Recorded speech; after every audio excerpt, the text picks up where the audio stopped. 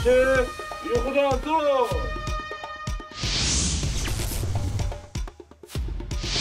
алақай жаңа күн жаңа сынақтар тұрыңдар тұрыңдар. Тағы да бір бет беріңіздерші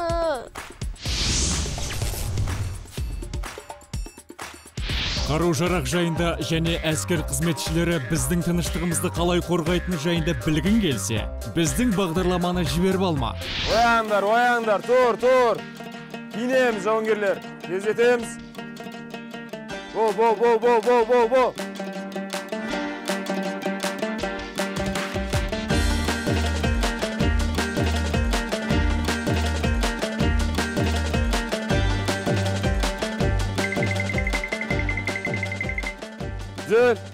Тек тұр. Жинақтал. Жинақталу үстіңгі киімнен астыңғы киімге қарай жасалады. Жинақталу доғар. Жүр, тек тұр. Қазір біз таңғы жаттығуға баратын боламыз. Оңға, жаттығу алаңына қарай. Жүгірі, адым, бас.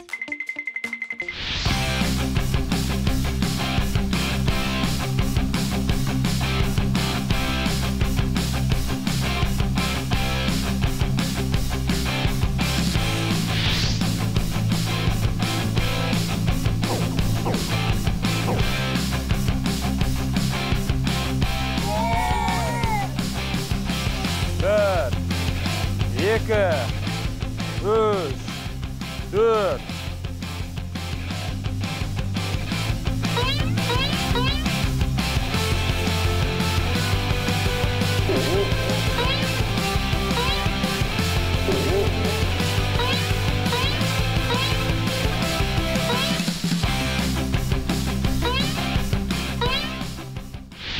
Бұл балалар әскерде не істеп жүр? Өз елінің нағыз азаматы нені білу керек? Тіпті кішкентай болса да.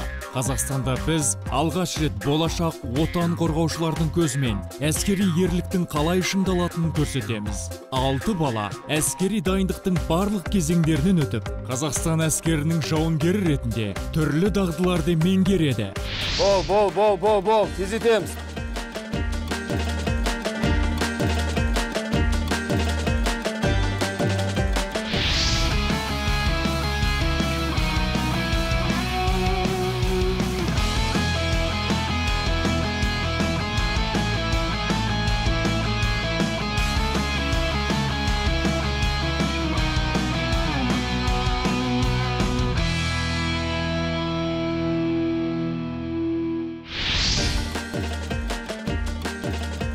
Төсекті жинаймыз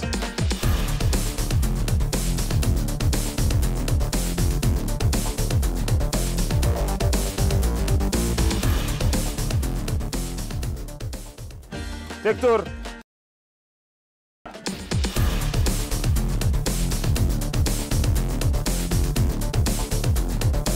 екі бір зіл тек жарайсыңдар осы беттеріңнен таймаңдар. Сұрақ қоюға рұқсат па? Рұқсат. Біз бүгін қандай сабақ өтеміз? Дұрыс сұрақ. Біз бүгін теория жүзінде бөлімшелер арасында қалай байланысқа шығатынын үйренетін боламыз. Яғни шайқас кезінде немесе күнделікті жағдайларда қалай бір бірімен байланысатынын өтеміз. Ал тәжірибе жүзінде ми 17 тікұшағынан секіруді үйренесіңдер. Кәдімгі тікұшақтан ба? Оны барған соң көретін боласыңдар. Қазір әңмен доғар түзел тек тұр. Оңға. Таңғасқа. Адым. Бас. Шын тікұшақ болса екен. Мен тікұшақтан секіруге дайынмын. Асыға күтемін.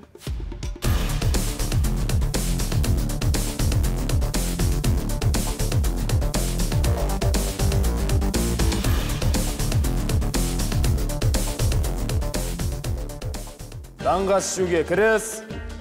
Ас болсын десаңшылар кел қол күрестірейік кел кел қырып тастаймыз ғой. Айттым ғой мен қол күрестен ең мықтымын? Мен тіпті мектептегі үлкен балаларды жеңетінмін. Тағы кіммен күреседі? Тоқтат не істеп отырсыңдар тағы. Жауынгер білек күші болса ақылдың керегі жоқ деп ойлайсың ба? Естіген жоқпын. Жоқ. Есіңде болсын жауынгер. Мақтаншақтық жауынгерге тән қасиет емес. Күлкілі нәрсе айтып тұрмын ба? Жоқ. Доғар күлкіні. Тек тұр менің бөлімшемде болсаңдар әлі ақ нағыз жауынгердің қарапайым боларын түсінесіңдер.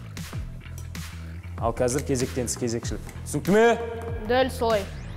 Естімей тұрмын. Дәл солай. Отыр. Сотқарлықты доғарамыз таңғы ас ішуге кіріс қызық екен мен қыздардың қарапайым болу керек деп жиі еститінмін. Әлде қарапайымдылық жалпы жақсы адамға тән қасиет пе екен? Мысалы менің сүйікті боксерім геннадий головкин. Бірақ оның мақтанғанын көрмеппін. Өзі әйгілі чемпион болса да өте қарапайым. Тек тұр мә сержант мырза менің туған ағам болғанда ғой. Иә менің де ағам болғанда ғой. Мені де бәрінен қорғаушы еді. Иә жауынгерлер дұрыс айтасыңдар. Әскери қызметкерлер әрқашанда сыйлы болған. Өйткені олардың басты міндеті халық тыныштығы. Өз қызметтеріңді шынайы атқарсаңдар сендер де сыйлы боласыңдар. Түсінікті ме? Дәл солай! Жарайсыңдар. Оңға! Меніңше күштілер әлсіздерді қорғау керек. Әркім өз қамын ойлайтын қоғамда көптеген түсініспеушіліктер пайда болады. Кешегі сотқарлар аналардың еркелері әскери казармада жас жауынгер мектебінен өтуге бел байлаған алты кейіпкер. Олар әскери өмір мен азаматтық өмірдің қандай айырмашылығы бар екенін үйренеді. Алдарында нендей сынақтар күтуде? Қызық оқиғалар ма? Жоқ әлде қиын сынақтар ма? Бізбен бірге болсаңыздар бәрін бірге көреміз.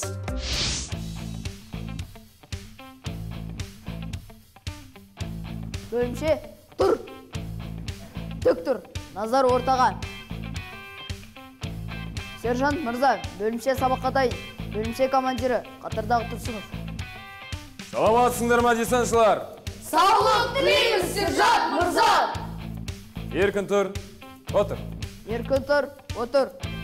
Отыр. Дәптерді ашамыз бүгінгі тақырыпты жазамыз. Бүгінгі тақырыбымыз әскери байланыс құралдары.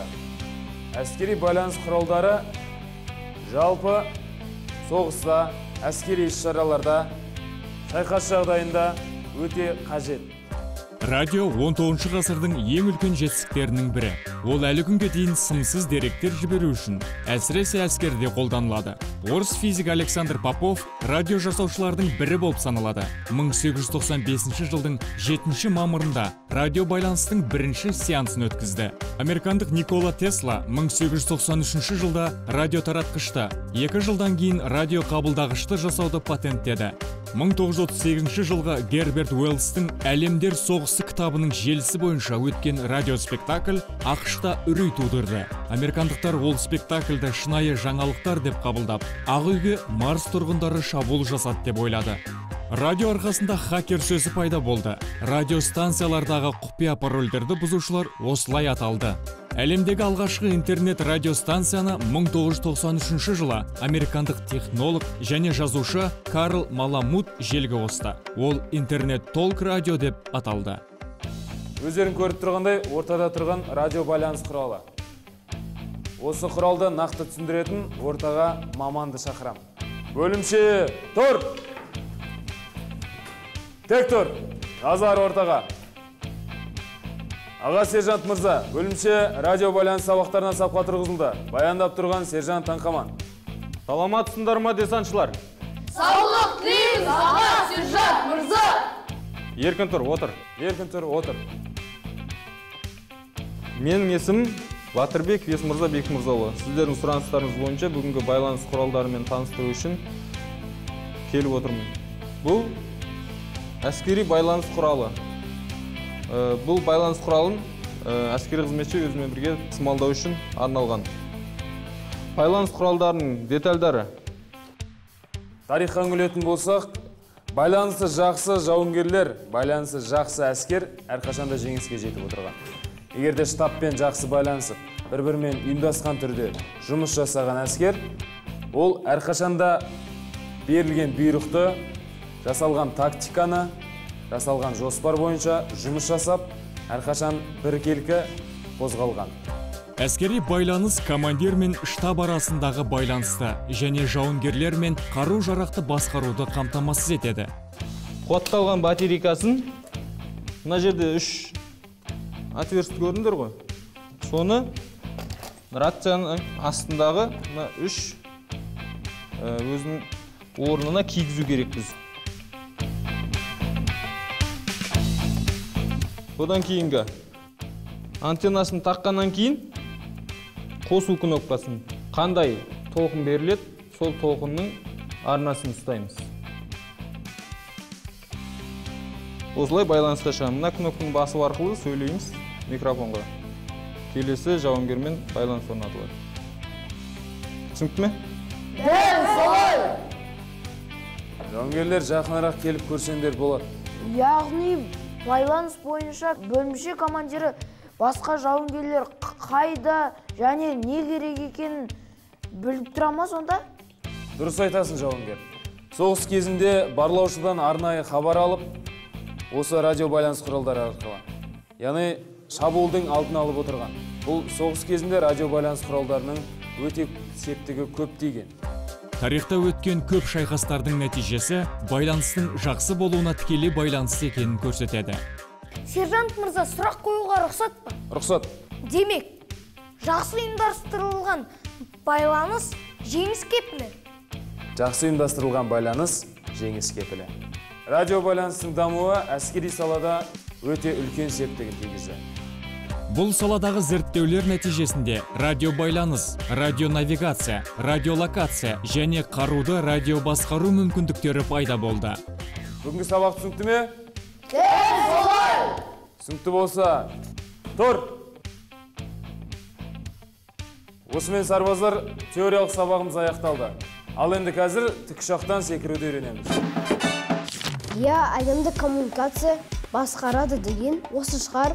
Ақпаратты дер кезінде жеткізу өте маңызды. Тіпті бір ұлттың өмірі осыған байланысты болуы мүмкін.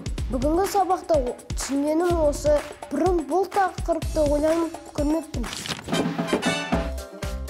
Бұдан әрі жас жауынгерлер қандай жағдайға тап болатынын көресіңдер. Командир оларға қаншалықты күрделі сынақ дайындаған екен. Бізбен бірге болыңыздар. Тек тұр адам бас. Оң иығалға орында. Тоқта. Бір екі. Оңға түзел тек тұр. Жауынгерлер қазір біз ми 17 тікұшағына мініп секіруді үйренетін боламыз. Түсінікті ме? Алақай нағыз әскери жаттығу! Сонымен жауынгерлер ми 17 тікұшағы арнайы десантшыларға арналған. Парашютпен мініп секіруге арналған арнайы құрылғылары бар. Бұл модельде тіпті қару тасымалдайтын борты да бар.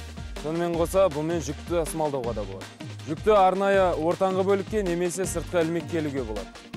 Жүк бөлігі 24 орыннан тұрады. Оны жинап тастауға да болады. Ми 17 тікұшағы совет ғалымы михаил мильдің құрастырғыш бюросында шығарылды.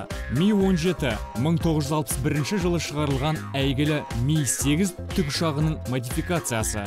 Ми 17 тікұшағы әлемнің 20 мемлекетінде қолданылады. Тікұшақтың бұл моделі 1991 жылдан бастап ресей мемлекетінде шығарыла бастады. Тікұшақтың тағы бір түрі жауынгерлер. Арнайы құтқару жұмыстарын жасауға арналған. Онда арнайы прожекторлар орналасқан яғни түнде құтқару жұмыстарын жасау үшін түсінікті ме тікұшақтың ұшуға арналған сипаттамалары оны әскерде кеңінен қолдануға мүмкіндік береді ол арнайы зеңбіректермен әскери кешендермен жабдықталған Түзел! Тек тұр! Жауынгерлер, ендеше осы жаттығуларды үйрететін арнайы маманды шақырамын. Тек тұр! Назар ортаға! Аға сержант мырза, бөлімше сабаққа дайын. Баяндап тұрған бөлімше командирі сержант Таңқаман. саламатсыңдар ма десантшылар? Саулық тілейміз аға сержант мырза. Еркін тұр Еркін тұр. балалар бүгінгі сабақта ми 17 ұшағына мініп секіруді үйренеміз. Бірінші оқу нүктесінен екінші оқу нүктесіне дейін секіріп аяқты шынықтырамыз. Мен сендерге қазір көрсетемін сендер солай секіріңдер. Солға жіпті көтереміз. Аяқтарыңды қосасыңдар. Аяқты қосып осылай секіресіңдер. Түсінікті ме дәл солай! Тоқта тоқта. Баспалдақпен мініп борттың ішкі жақтарынан ұстайсыңдар. Бірінші топ оң жаққа орналасады. Бірінші топ солға тікұшаққа адым бас. Десанттық топта мен бірінші болу керекпін. Неге сен? Себебі мен шымырмын. Доғар әңгімені жаттығуға кіріс. Десантшылар тобына кез келген жауынгер мүше бола бермейді. Тек көптеген сынақтардан өткен жауынгер ғана десантшы бола алады. Олардың физикалық және әскери дайындықтары өте жоғары болуы тиіс. Қысқасы мына мен сияқтылар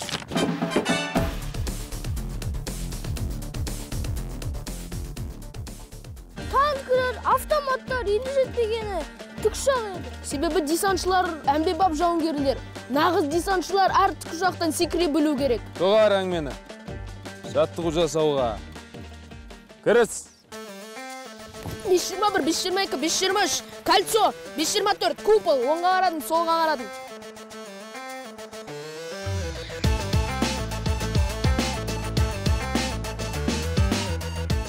Секіруге дайындал. Секір.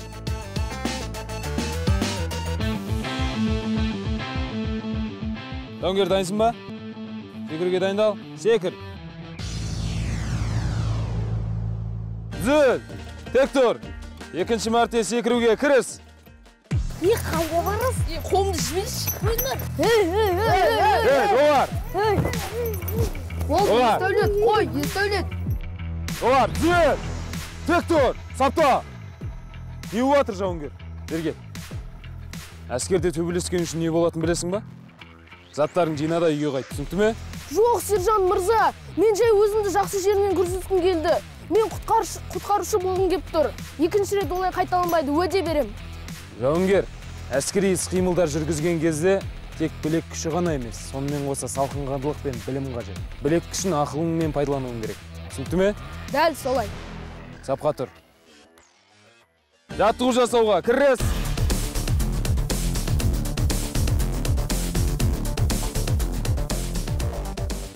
Жауынгер дайынсың ба? Иә. Аяғын қос.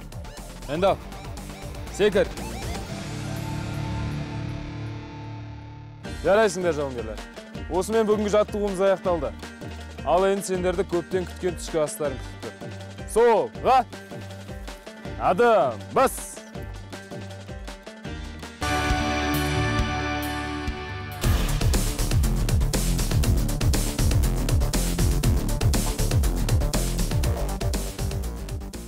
Ас болсын десаңшылар